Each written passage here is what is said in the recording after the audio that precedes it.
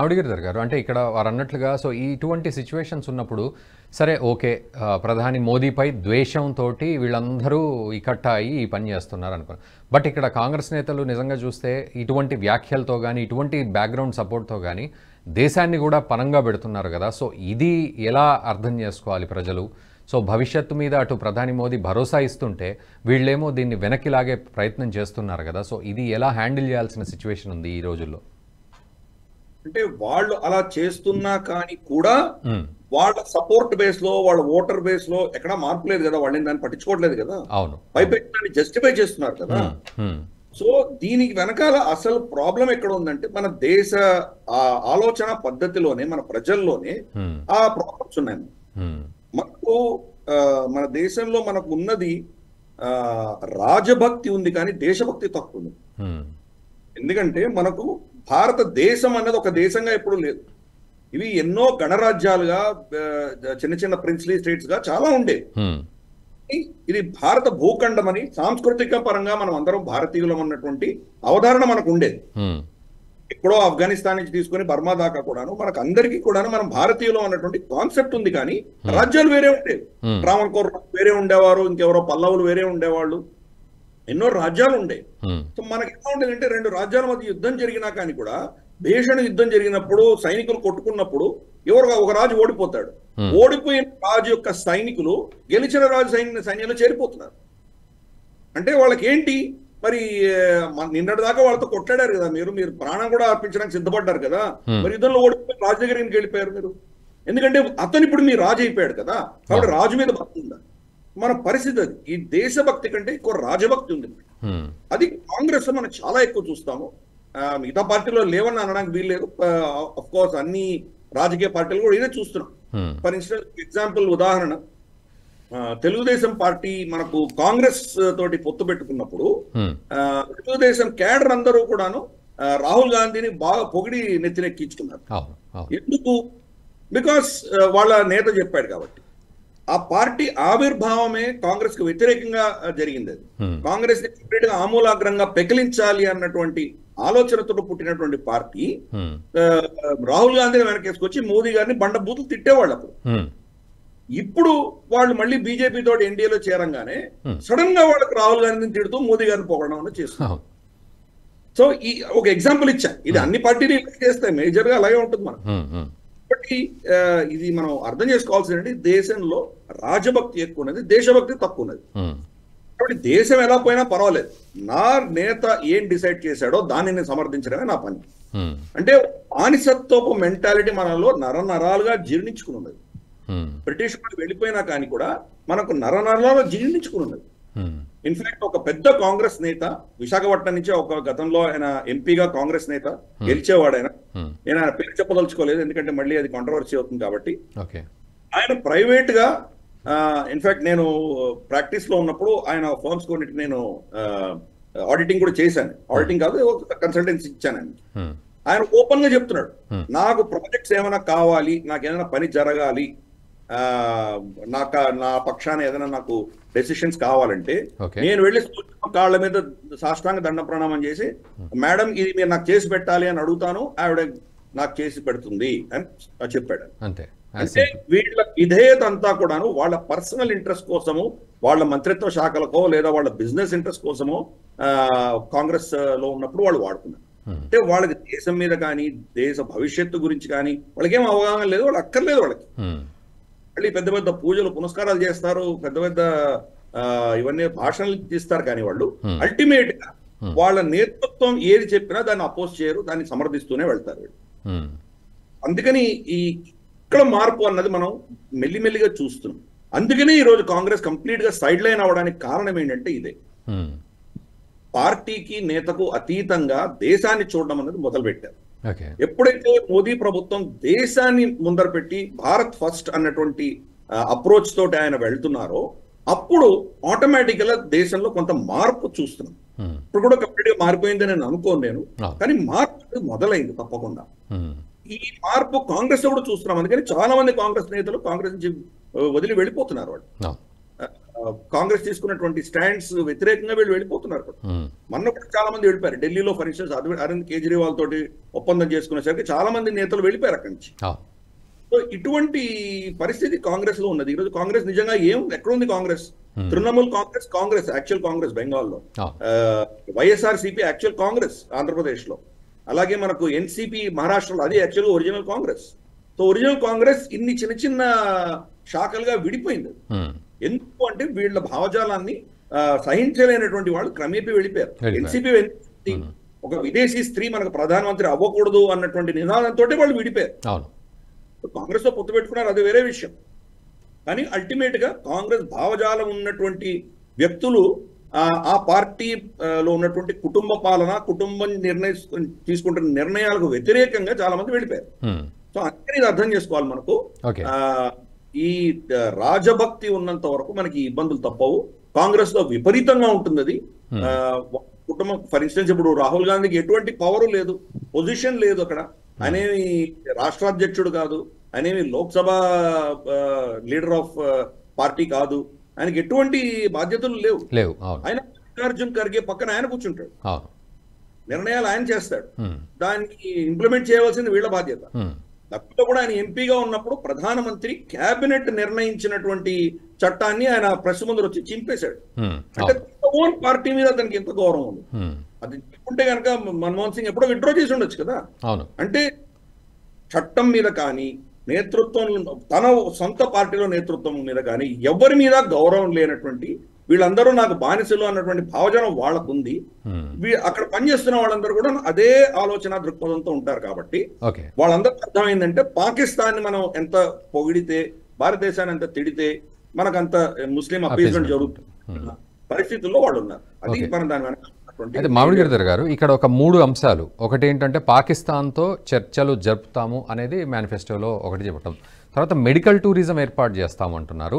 రెండోది. మూడోది సరిహద్దు వాణిజ్యం బార్డర్ ట్రేడ్ నేర్పుతామని చెప్పి ఇటు శశి థరూర్ అనడం. సో ఇవన్నీ ప్రాక్టికల్గా ఎలాంటి విషయాలుగా అర్థం చేసుకోవాలి? ఈ చర్చలు జరపడం ఏంటి? మెడికల్ టూరిజం ఏంటి? ఈ సరిహద్దు ట్రేడ్ ఎలా ఉంటుంది? అది కూడా పోయి పోయి పాకిస్తాన్తో. ఇప్పుడు వెనక నుంచి చూద్దాం వాణిజ్యం. మనకు గతంలో కాంగ్రెస్ ప్రభుత్వం ఉన్నప్పుడు మనకు ఊడి చికోటి అలాగే మనకు పూంచ్ రావ్లా కోట్ ఈ రెండు ప్రాంతాల్లో మనకు ట్రాన్స్ లైన్ ఆఫ్ కంట్రోల్ వాణిజ్యం అన్నది వాళ్ళు అప్పుడు పరిమితించారు వాళ్ళు. అంటే బార్టర్ ట్రేడ్ ఉండేది. నగదు రూపాయలు కాకుండా ఇక్కడి నుంచి మనం ఏదో బహుశా వాల్నట్స్ ఇంకేవో బాదాం ఇక్కడి నుంచి ఎక్స్పోర్ట్ చేస్తే వాళ్ళు అక్కడి నుంచి ఇంకేదో మెర- మిరపకాయలో ఉల్లిపాయలో అక్కడి నుంచి వాళ్ళు ఎక్స్పోర్ట్ చేసేవాళ్ళు. ఇలా రెండు దేశాల మధ్యన అదే ధనం విలువ చేసేటువంటి వస్తువులని ఎక్స్చేంజ్ చేసుకునేటువంటి ఒక ఒప్పందం ఉండేది. కాంగ్రెస్ హయాంలో చేశారు. ఈ రూట్ను వాడుకొని పాకిస్తాన్ ఏం చేసిందంటే హవాలా రూపేణ ఇక్కడ వేర్పాటువాద శక్తులు ఎవరైతే ఉన్నారో వాళ్ళకు ధనం చేర్చేటువంటి కార్యక్రమం చేసింది. అది. మనం మనకు ఆర్టికల్ త్రీ సెవెంటీ సినిమా ఏదైతే వచ్చిందో ఆ సినిమా చూసిన వాళ్ళకి అది అర్థం అవుతుంది చాలా స్పష్టంగా చూపించారు. మనం వంద రూపాయల సామాన్ వాళ్ళకి ఇచ్చామంటే అట్నుంచి వాళ్ళు రెండు వందల రూపాయల సామాన్ మనకి ఇస్తున్నారు. ఓకే. ఆ మిగతా వంద రూపాయలు ఐఎస్ఐ స్పాన్సర్ చేస్తాం. ఓకే. ఆ వంద రూపాయల్ని భారతదేశంలో అమ్ముకుంటే కనుక వాడు వంద రూపాయలు వస్తుంది వాడికి. ఆ వంద రూపాయల్ని ఈ టెర్రరిస్ట్ వేర్పాటువాద తంజీములకు వాళ్ళు ఇస్తున్నారు. ఇలా దాన్ని వాడుకున్నారు. ఇది గమనించిన తర్వాత ప్లస్ డ్రగ్స్ కూడా వచ్చాయి. పండ్లలో వాళ్ళు డ్రగ్స్ పెట్టేసి పంపిస్తారు. మీరు ప్రతి పండుని మీరు అయితే స్కాన్ చేయలేరు కదా కన్నుల్లో వస్తున్నప్పుడు ఎక్కడైనా మీరు పట్టుకుంటారు. Hmm. సో అవన్నీ కూడాను దాన్ని వాళ్ళు వాడుకుని దాన్ని ఇక్కడ మన దేశంలో డ్రగ్స్ తర్వాత హవాలా రూపేణ పైసలు రావడం ఇవన్నీ చేశారు. హ్మ్. అప్పుడు భారత ప్రభుత్వం ఏం చేసిందంటే ఈ రెండు కూడాను కంప్లీట్గా బంద్ చేసేసాం. మనం రావ్లాకోట్ రూటు బంద్ చేసుకున్నాము. మన మన పూంచ్ రావ్లాకోట్ అలాగే ఊడి చకోటి కూడా మనం కంప్లీట్గా క్లోజ్ చేసాం ఓకే. గతంలో మనకి ఈ ప్రాబ్లమ్స్ మనకు అటారీ వాగా బార్డర్లో కూడా మన వాణిజ్యంలో ఇటువంటి మనం చవి చూసాం గతంలో. పైపెచ్చు భారతదేశం ఏకపక్షంగా వాళ్ళకి MN MFN status most favoured nation status మనం ఇచ్చాం గతంలో. అప్పుడు ఒప్పందం ఏంటంటే వాళ్ళు కూడా మనకు ఆ స్టేటస్ ఇవ్వవలసి. వాళ్ళు ఇవ్వలేదు. ఇవ్వకుండానే పది పన్నెండు సంవత్సరాలు అలాగే గడిచిపోయాయి. ఫైనల్గా వాళ్ళు పుల్వామాలో అటాక్ చేసిన తర్వాత మోదీ గారు ఆ ఎంఎఫ్ఎన్ స్టేటస్ తీసేసి Hmm. వాళ్ళ సరుకుల మీద రెండు వందల పర్సెంట్ అదనంగా ట్యాక్స్ భారం మోపాము హ్మ్. సో దాంతో కంప్లీట్గా అది ఆగిపోయింది ప్లస్ వాళ్ళు మిగిలి కొద్దో గొప్ప మిగిలిన వాణిజ్యాన్ని కూడా వాళ్ళు ఏం చేశారంటే మనకు మూడు వందల డెబ్బై అధికరణ సవరించిన తర్వాత Hmm. వాళ్ళు దాన్ని కంప్లీట్గా మూసేశారు ట్రేడ్ మూసేసుకున్నారు ఓకే వాళ్ళ ప్రాబ్లం ఈ రోజు చూస్తే కనుక ఆ దేశంలో వ్యాక్సిన్స్ అని భారతదేశం నుంచి కొనుక్కోవాలి. ఆఖరికి కుక్క కాటుకు కావాల్సినటువంటి ర్యాబిస్ వ్యాక్సిన్ కూడా భారతదేశం నుంచి వస్తుంది వాళ్ళకి. ఇప్పుడు వాళ్ళకి పది రూపాయల సరుకు దుబాయ్కి వెళ్ళి వాళ్ళ దగ్గర వచ్చేసరికి యాభై రూపాయలు అవుతాం. దానికి కారణం వాళ్ళే కాబట్టి మనకు ఎంఎఫ్ఎన్ స్టేటస్ ఎందుకు ఇవ్వలేదు మనకు ఆర్టికల్ త్రీ సెవెంటీ మన అంతర్గతమైన విషయాల్లో వాళ్ళు జోక్యం ఎందుకు చేసుకున్నారు అని దానికి కారణం వాళ్ళే. కాబట్టి వాణిజ్యం మనం కట్ చేసాం మోదీ గారు మన ఇంటర్వ్యూలో చాలా స్పష్టంగా చెప్పారు. వాళ్ళకు రెండు రోజులు తినడానికి తిండి దొరికిందంటే అది చాలా గొప్ప విషయం వాళ్ళని వదిలేశాను వాళ్ళతో నాకు సంబంధం లేదని చాలా స్పష్టంగా చెప్పారు. కాంగ్రెస్ దానికి ఎందుకు వెనకేసుకొస్తాం మరి వాళ్ళతో ఈరోజు- చర్చలు అంటుంది పాకిస్తాన్కి ఈ రోజు ఆ, ఆ అత్యవసరమైన విషయం ఏంటంటే భారతదేశంతో వాణిజ్యం చేయడం. భారతదేశంతో వాణిజ్యం చేయకపోతే ఆ దేశం ఇంకా అదో పాతాళంలోకి వెళ్ళిపోయేటువంటి ప్రమాదం ఉంది వాళ్ళకి. ఎందుకంటే వాళ్ళు కంప్లీట్గా ల్యాండ్ లాక్డ్ అయ్యారు అటు సైడ్ చూస్తేనేమో మనకు ఆఫ్ఘనిస్తాన్ ఎందుకు పనికిరాదు. ఆఫ్ఘనిస్తాన్లో ట్రేడ్ చేస్తారు ఏమీ లేదు. ఇరానా ఇరాన్ వీళ్ళ దగ్గర నుంచి ఆంక్షలు ఉన్నాయి కాబట్టి పెద్దగా జరిగేది ఏం లేదు. చైనా చైనా ఒక క్యాన్సర్ లాంటిది. వీళ్ళ వనరుల్ని వాళ్ళు కొల్లగొడుతున్నారు దీనంతా వాళ్ళు కబ్జా చేసుకుంటున్నారు. సో మిగిలింది ఏంటి వాళ్ళ బతుకు తెరువుకి వాళ్ళు బతకాలంటే భారతదేశంతో వాణిజ్యం చేయక తప్పదు వాళ్ళకి. కాబట్టి వాణిజ్యం జరిగితే కనుక దానివల్ల లాభపడేది పాకిస్తాన్. భారతదేశానికి ఒడిగేది ఏం లేదు. మనకు అక్కడి నుంచి వచ్చే వస్తువులన్నీ మన దగ్గర ఆల్రెడీ సమృద్ధిగా ఉన్నాయి మన దగ్గర. పాకిస్తాన్ చేయకపోయినా మనం మన జీవితం మనం బతకచ్చు. కాబట్టి పాకిస్తాన్ని కాపాడడానికి కోసమే కాంగ్రెస్ నేతలు ఈ ప్రతిపాదన తీసుకొచ్చారు. రెండవది మెడికల్ టూరిజం. మొన్న రీసెంట్గా ఒక ప్రైవేట్ ఆసుపత్రి చిన్న పిల్లలకు మనం ఒక హార్ట్ ట్రాన్స్ప్లాంట్ చేసి పంపించాం అవును అవును రైట్. దానివల్ల మనకు పాకిస్తాన్ ప్రభుత్వం కానీ పాకిస్తాన్ ప్రజలు కానీ భారతదేశాన్ని మీద ఏమైనా మైత్రి భావం కానీ మన మీద ఒక విధమైనటువంటి ఆ, సుహృద్ భావం ఏమైనా ఉందా వాళ్ళకి. ఇప్పుడు కూడా ఈ రోజు కూడా మన పిల్లల్ని హిందూ అమ్మాయిలని చిన్న చిన్న పిల్లల్ని పదకొండు పన్నెండు పదమూడేళ్ళ పిల్లల్ని తీసుకెళ్ళి నిక్కా చేసేసి వాళ్ళని మత మార్పిడి చేసి ఇప్పటికి కూడా వాళ్ళ మీద శోభ అనిపించేలా చేస్తున్నారు. మరి ఏమైనా మార్పులు ఉన్నాయి ఏం లేదు కదా. పైపెచ్చు అక్కడ చాలా మంది గజ్వాయ్ హిందీ ఇప్పుడు కూడా మాట్లాడుతారు అవును.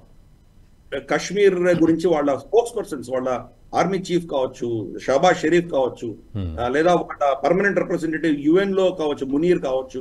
వీళ్ళందరూ కూడా ఏం మాట్లాడుతున్నారు కశ్మీర్ అన్నది చాలా డీప్ సమస్య దాని ఆ, సమస్యను పరిష్కరించాలి అని ప్రపంచవ్యాప్తంగా దండోరా వేసే ప్రయత్నం చేస్తుంది Hmm. మోదీ గారి యొక్క డిప్లొమసీ వల్ల అది జరగట్లేదు కానీ వాళ్ళ భావజాలం ఇప్పుడు కూడా భారత వ్యతిరేకత అన్నది చాలా నరనరాలో జీర్ణించుకున్నది వాళ్ళు Hmm. కాబట్టి ఈ మెడికల్ టూరిజం అన్నది చేసినంత మాత్రాన మనకు అక్కడ మనకు బ్రౌనీ పాయింట్స్ ఏమి ఉండవు. వాళ్ళు మనం సడన్గా పొగిడేసి భారతదేశం చాలా గొప్ప దేశం మిత్ర దేశం అంటూ వాళ్ళు ఏం కొనియాడరు. Hmm. అడ్వాంటేజ్ తీసుకుంటారు ఇది మా హక్కు అన్నట్టు బిహేవ్ చేస్తారు. దానివల్ల మనకు ఎటువంటి లాభము లేదు. Hmm. ఆ గతంలో సుష్మా స్వరాజ్ గారు కూడా వాళ్ళకి ఏమైనా మెడికల్ కావాలంటే ఆవిడ ట్వీట్ చేసి పర్మిషన్ ఇచ్చి వాళ్ళకి వీసాలు ఇచ్చి ఇవన్నీ చేశాం. Hmm. దాని తర్వాత మనకి ఏమైనా లాభం వచ్చిందా. ఏమీ లాభం లేదు. మీద లేదు. ఊరిలు చేస్తారు. పుల్వామాలు చేస్తారు వాళ్ళు మన మీద దాడులు చేస్తూనే ఉంటారు. రీసెంట్గా వారం క్రితం ఒక ఎక్స్ సర్పంచ్ని మనకు షోపియాన్లో చంపేశారు వాళ్ళు. బీజేపీ సర్పంచ్ చంపేశారు వాళ్ళు. కాబట్టి వాళ్ళకు మనం ఏదో మానవతా దృక్పథంతో ఏదో చేస్తే వాళ్ళకి ఏదో మనం కిరీటం పెడతారు అనుకోవడం కల్లా. అవును. మూడవది చర్చలు చర్చలు అంటున్నారు. ఎవరితో చర్చిస్తారు? ఎగ్జాక్ట్లీ. ఎవరితో చర్చిస్తారు? పెద్ద ప్రశ్న. షహబాజ్ షరీఫ్ అన్న వ్యక్తి అసలు అసలు అతనికి ఎటువంటి పవర్స్ లేవు. శక్తి లేనట్టు. పోనీ అసీం మునీర్తో మాట్లాడతామా? అసీం మునీర్ ఏ ఆధారంతో మీరు అతనితో చర్చలు చేస్తారు? అతను దేశాధినేత కాదు. ఆర్మీ చీఫ్ ఐఎస్ఐ గా ఉన్నప్పుడే మనకు అతను ఐఎస్ఐ చీఫ్గా ఉన్నప్పుడే మన దేశంలో విధ్వంసమైనటువంటి చర్యలు చాలా జరిగినాయి. పుల్వామా లాంటివి జరిగి. ప్లస్ అతను బాధ్యతలు స్వీకరించిన తర్వాత మొట్టమొదటి విజిట్ ఆయన ఎక్కడికి వెళ్ళాడంటే లైన్ ఆఫ్ కంట్రోల్కి వెళ్ళాడు ఆయన. చాలా స్పష్టంగా ఉన్నాడు భారత వ్యతిరేకత ఆయనకి ఇబ్బంది ఎక్కడ వచ్చిందంటే ఆర్మీలోనే ఒక వర్గం ఇమ్రాన్ ఖాన్ని సపోర్ట్ చేస్తుండడం తోటి ఆయన అంతర్గతమైన విషయాల్లో ఆయన సతమతం అవుతుంది. చెప్పచ్చు ఇక్కడ టీటీపీ అటాక్లు చేస్తాం అక్కడ బలూచీలు అటాక్ చేస్తున్నారు. రీసెంట్గా మనకు పిఓజేకే లోను ఆ, ఈ ప్రాంతం అంతా కూడాను ఆజాదీ నినాదాలు వింటూను వినపడుతూను అక్కడ వీళ్ళకి వ్యతిరేకంగా వాళ్ళు చేస్తున్నారు. కాబట్టి అంతర్గతమైన విషయాల్లో తను బిజీగా ఉన్నాడే కానీ. రేపు ఒక ఊరట కలిగిందంటే మొట్టమొదటిది భారతదేశానికి వ్యతిరేకంగా ఏదో చేయబోతున్నాడు. ఓకే. ఎవరితో చర్చలు చేస్తారు. చర్చలు చేసి ఎవరు మాట్లాడతారు? అంటే కాశ్మీర్ మీకు ఇచ్చేస్తామంటావా లేకపోతే లైన్ ఆఫ్ కంట్రోల్ని ఇంటర్నేషనల్ బార్డర్ చేస్తామంటావా Hmm. ఏ అంశాలు మాట్లాడతారు మీరు వాళ్ళతో? ఓకే. మాట్లాడడానికి ఏమున్నాయి? లిటరల్లీ చెప్ప. ఏది మాట్లాడినా దాని వెనకాల దాన్ని దాన్ని అస్త్రంగా వాడుకునేటువంటి ప్రయత్నం వాళ్ళు చేస్తారు కాబట్టి వాళ్ళలో మౌలికమైన మార్పులు రాకుండా మనం చర్చలు అంటూ చేస్తే కనుక దానివల్ల మనం నష్టపోతాం కానీ వాళ్ళకు వచ్చి ఒరిగేది ఏమీ లేదు ఫర్ ఇన్స్టెన్స్ మన్మోహన్ సింగ్ గారు ఆ, మనకు ఈజిప్ట్లో ఆయన ఒక సమ్మిట్లో వెళ్ళినప్పుడు. ఆ, షాయద్ అతని ప్ర- ప్రధాన- ప్రధానమంత్రి పేరు మర్చిపోయాను. అతను ప్రధానమంత్రి పాకిస్తాన్ ప్రధానమంత్రి తర్వాత మన్మోహన్ సింగ్ గారు ఇద్దరు కలిసి డిక్లరేషన్లో బలూచిస్తాన్లో మాకు ఎటువంటి హస్తము లేదు అని అఫీషియల్గా భారతదేశం రాసిచ్చింది. ఓకే. రాసి ఇవ్వాలి.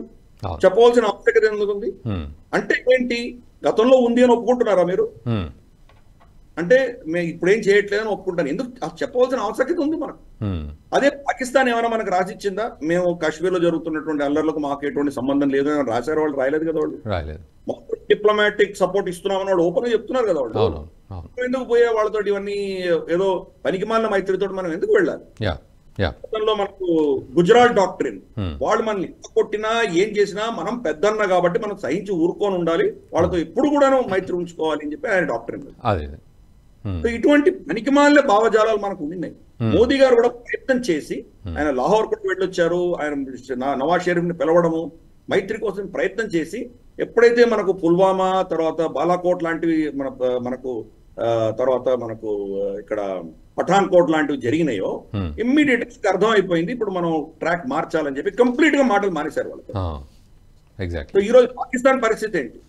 కాబట్టి పాకిస్తాన్కి ఏదో మనం వాళ్ళకు ఇన్సెంటివైజ్ చేస్తూ వాళ్ళకి ఏదో ఇస్తే కనుక మైత్రి పెరుగుతుంది అనుకోవడం చాలా తప్పు. సంవత్సరాలుగా మనం నేర్చుకున్నాం అది. కాబట్టి అటువంటి వాళ్ళకు కఠినమైనటువంటి శిక్ష విధిస్తే కానీ వాళ్ళు బాగుపడరు. ఇదా కాబట్టి ఈ మూడు కూడాను కాంగ్రెస్ చెప్తున్న మూడు చర్చలు కావచ్చు మెడికల్ టూరిజం కావచ్చు వాణిజ్యం కావచ్చు. దానివల్ల భారతదేశం నష్టపోతుంది పాకిస్తాన్ యొక్క వాళ్ళ ఇంట్రెస్ట్ కాపాడబడతాయి. యా. ఈ మూడింటిని కూడా మనం అవాయిడ్ చేయవలసిన ఆవశ్యకత మనకుంది. యా.